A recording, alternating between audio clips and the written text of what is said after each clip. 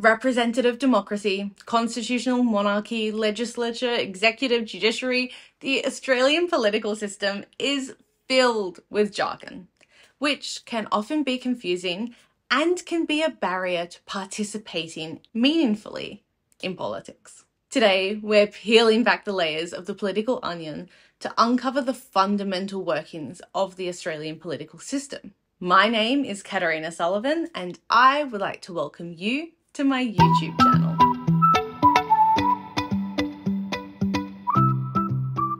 You might be wondering, why bother? Why bother understanding the Australian political system? Well, buckle up, because the decisions made in those hallowed halls of the building on the hill directly impact our lives. From the price of your bread and milk to your access to life saving healthcare, these decisions matter to us. Understanding the intricacies of Australian politics is your key to unlocking your full democratic power as a voter and as a citizen of Australia. And even if you aren't a citizen or you're not yet of voting age, your voice still carries tremendous power when engaging with the politicians who represent you. So let's get started on arming you with knowledge and with power. Australia is both a representative democracy and a constitutional monarchy. What exactly is a representative democracy? A representative democracy is a system in which we elect representatives to make decisions on our behalf.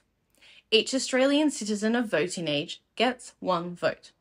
No vote counts more than another. These votes are counted, and from here, a representative is chosen. This person represents their voting community in Parliament. Your vote is your voice, and collectively, our voice shapes the future of this country on election day. Now let's talk about the other term I used earlier, constitutional monarchy. Let's start with that constitutional part. Our political system is governed by a constitution. A constitution is a document containing a set of rules on how the country should run. Australia is part of the Commonwealth, with the British monarch as our symbolic head of state. I say symbolic here as the British monarch does not really get involved in the day to day running of the country. We call this monarchy above politics. This is different to an absolute monarchy in which the monarch has powers over the state and the government. When you combine these two terms, constitution and monarch, you end up with a system of government in which a monarch, a king or a queen, rules alongside a government which operates based on the rules set out in a constitution. Now, the British monarch is a busy person and probably not across all the intricacies of Australian politics. So, how do they still participate meaningfully as our head of state? Enter the Governor General. The Governor General is our representative of the Crown or the monarch in Australia, with important ceremonial duties and a key role in the functioning of our government. Now, I've used two key terms in talking about our monarchy and our political system. These terms are state and government. These are two different terms for two different functions. It's best understood by looking at the difference between a head of state and a head of government. Have you ever noticed that some countries have both a president and a prime minister?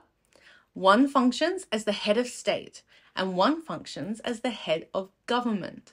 The head of state represents the country, like our monarch or governor general. The head of government runs the show, like our Prime Minister. Two roles, one nation. Australia is a federation with multiple levels of government. A federation is a group of states who are independent from one another, but share a central government. In our federation, we've got the federal government as our central government. Taking a step from there, we have the state and territory governments. And then another step from there, the local legends who manage things a little closer to home, the local government, also known as local councils. It's like a political layer cake, and each layer has its own responsibilities and powers. Within these levels of government, there are three arms of government the legislature, responsible for making laws, the executive, in charge of implementing said laws, and the judiciary, ensuring those laws are fair and just for everyone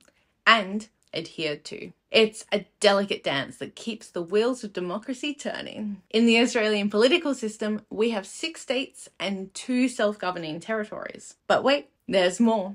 We also have external territories like Christmas Island and the Cocos Islands. Our political family is bigger than you might think. So there you have it, the fundamentals of the Australian political system. We will cover each of these topics in a lot more detail in subsequent episodes of this series. This episode was a bit more of a crash course in some of the foundations of our political system and some of the political jargon you might come across when hearing about, researching, or engaging in Australian politics. If you found this episode helpful, please give this video a thumbs up and share it with your family, friends, colleagues, teachers, and more. Please subscribe to my channel for more content on Australian politics, including future videos on how the Australian political system works. And I'd love to hear from you. Please comment below which topic you're most looking forward to learning about during this series. Remember, understanding the system isn't just important, it's empowering. So let's stay engaged, be part of the conversation,